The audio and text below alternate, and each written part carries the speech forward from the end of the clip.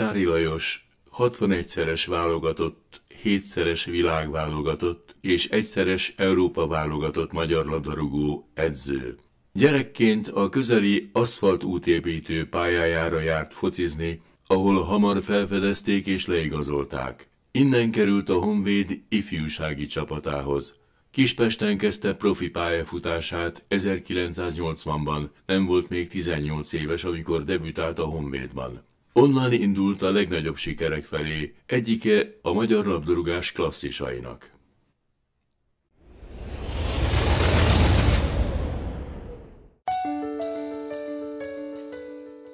Természetesen a mai nap is előttem van, amikor először kimentünk a barátokkal az aszfaltútépítő pályára, és elkezdtünk futballozni. Azt, azt tudni kell, hogy abban az időben nem léteztek ilyen játékok, mint jelen pillanatban egy nagy elszívó elő a gyerekeknek.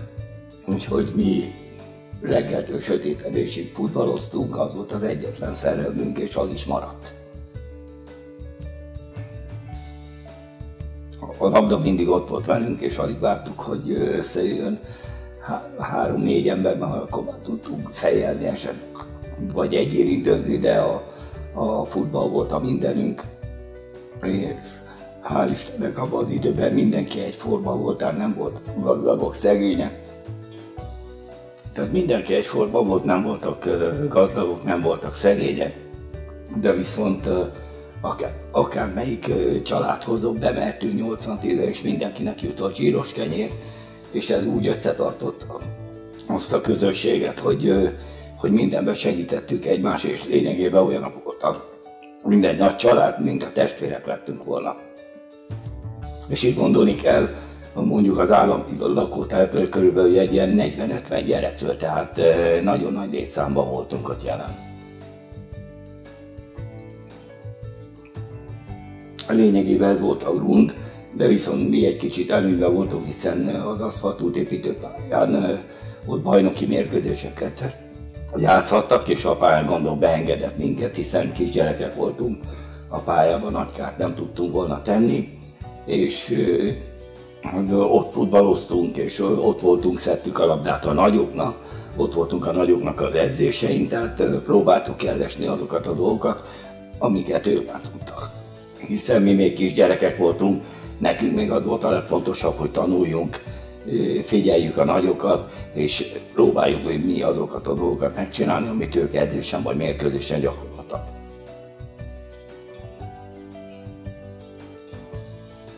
A karrierem útjában a következő lépés az volt, hogy leigazolta az aszfalt útépítő, majd egy év játék után Lunga Feri bácsi, aki az ottani edző volt, átkerült a budapesti Honvédba, és vitt magával.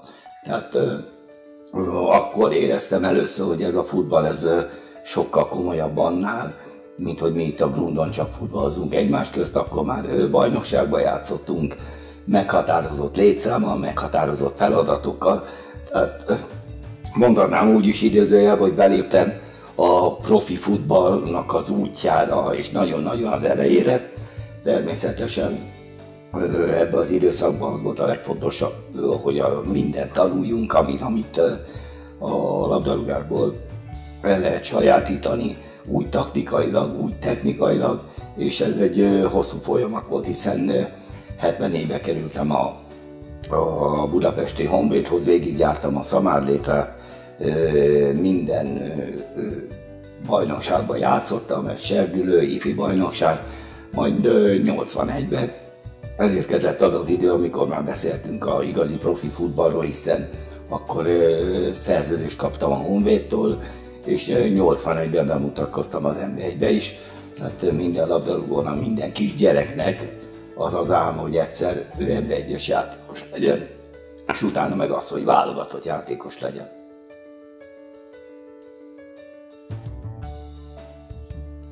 Én úgy gondolom, hogy egy pályafutás az nagyon hosszú idő, amihez nagyon-nagyon sok szerencse kell, és természetesen amellett, hogy szerencse is kell, nagyon sokat kell dolgozni érte.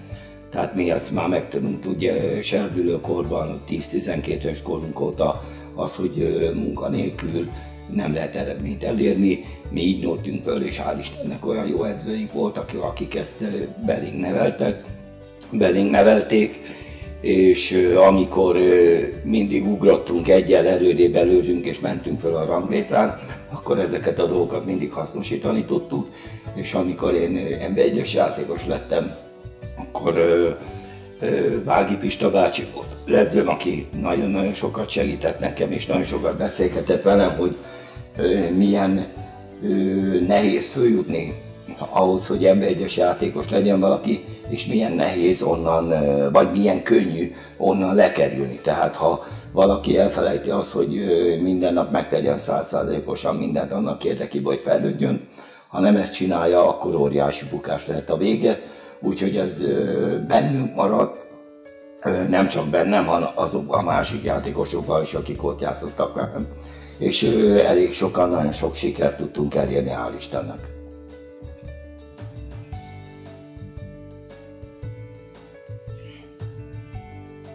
A siker az egy olyan dolog, hogy amit edzéseken, berejtékes munkával elvégeztél, akkor jön egy fontos mérkőzés, és ott, amit edzéseken gyakoroltál ezerszer, azt meg tudod csinálni a mérkőzésen.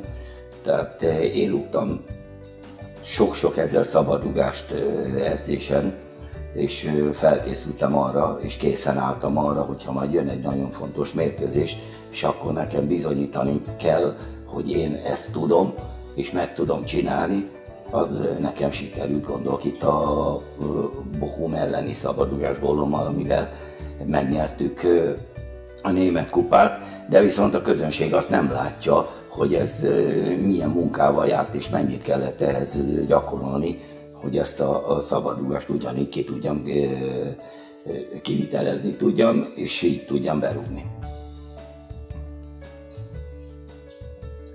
Természetesen ahhoz, hogy az ember sikereket érjen el, nagyon sok összetevőnek kell összeállnia. Gondolok itt a családi átérre, a magánéletre, gondolok itt az edzőkre, gondolok a matszörökre, a szertárosra, a pályagondokokra, gondokokra, akik nap mint nap azért dolgoznak, hogy én lényegében azon a mérkőzésen a legtöbbet tudjam kihozni magamból, és a csapat megnyeri ezt a mérkőzést.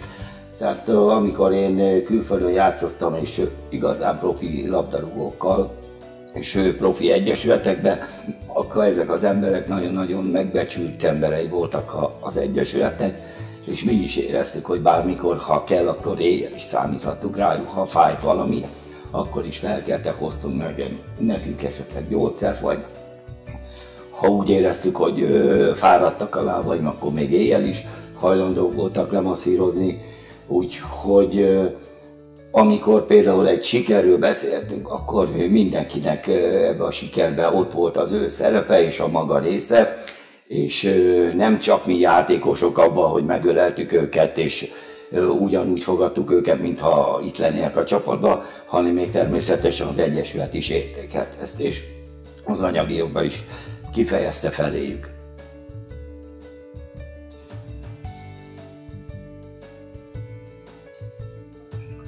Én, én úgy gondolom, hogy a profi életében, vagy egy olyan ember életében, aki nagyon meghatározza az, hogy mindig a legjobbat nyújtsa, hogy mindegy, hogy az élet milyen területén. Nagyon-nagyon fontos a, a nyugalom, nagyon fontos az, hogy legyen egy családi háttér. Természetesen, amikor mondjuk mi családostul kikerültünk Németországba 87-ben, egy új környezetbe kerültünk egy kisgyerekkel, aki 8 hónapos volt, tehát az embernek egy óriási felelősség érzete volt, hogy most itt van a család, nem csak magamért, nem csak ö, ö, azért, hogy megmutassam, én milyen futballista vagyok, hanem nekem még mellette a magánéletbe is hely kell állni, hiszen én voltam az, aki bevásárolt, én voltam, aki intézte a napi dolgait, de viszont a másik oldalt én meg a családtól visszakaptam azt, hogy nyugodtan készültem a mérkőzésekre, meg volt otthon az ételem, italom, mindenem, tehát a ruháink ki voltak mosva, kivasalva természetesen. Tehát ez nagyon-nagyon fontos, hogy a család, ha mindenki egy irányba húz és együtt dolgoznak azért, hogy menjünk előre, akkor ott nem lehet más, csak a siker, és biztos, hogy, hogy előbb-utóbb be fog következni az a várovár pillanat, amiért az ember futballozik. Én úgy gondolom, hogy nagyon szerencsés voltam, hiszen a családi háttérben soha nem volt problémám. Az első házasságomból két nagy lányom van, 36 éves és 30 évesek, tehát nagyok most már. Utána úgy alakult, hogy elváltak útjaink, de viszont a kapcsolatunk ugyanolyan jó maradt, úgyhogy állandóan keresünk egymást. Azóta az életemben, hál' Istennek mindig olyan szerencsésen alakult, hogy olyan tárcsat tudtam magamnak találni, aki, aki passzol hozzám, és ketten meg tudjuk oldani azokat a dolgokat, amik, amik elénk nézünk, és nem ijedünk meg semmilyen feladattól, dolgozunk nap mint nap, és azt hiszem a legfontosabb, amikor az ember hazamegy, és otthon este átbeszélik, hogy mi történt ma, és mindenki meg van elégedve, ha valamit csinál, és már újra tervezzük a következő napot és a következő feladatokat. Most uh, voltam 60 éves, természetesen az ember ilyenkor elgondolkodik, hogy uh, mit ért el idáig, uh, mit szeretne még elérni az életben, milyen feladatok érdekelnék őt, őt a jövőben. Úgyhogy én úgy gondolom, hogy még kész vagyok, megvan bennem a tűz ahhoz, hogy a labdarúgáson belül, akár mint vezető, akár mint edző, valamilyen feladatot elvállaljak. Természetesen várom azokat a lehetőségeket, amik esetleg majd megtalálnak. Biztos, hogy nem rajtam múlik. Úgy érzem, hogy nagyon nagy tapasztalattal rendelkezem. A fiataloknak is tudnék segíteni, hiszen 12 éves profi pályafutásom alatt külföldön mindenhol kezdőcsapat játékosa voltam, soha nem voltam kispador. Ezt én talán nagyobb eredménynek is mondanám, mint azokat a sikereket, hogy kupát nyertünk vagy esetleg bajnokságot nyertünk. Én ezt tűztem ki célul, amikor kimentem, hogy ha én valamikor is kispados leszek egy külföldi csapaton, akkor hazajövök egyből, és abba hagyom a labdarúgást. Úgyhogy ezt is sikerült végrehajtanom.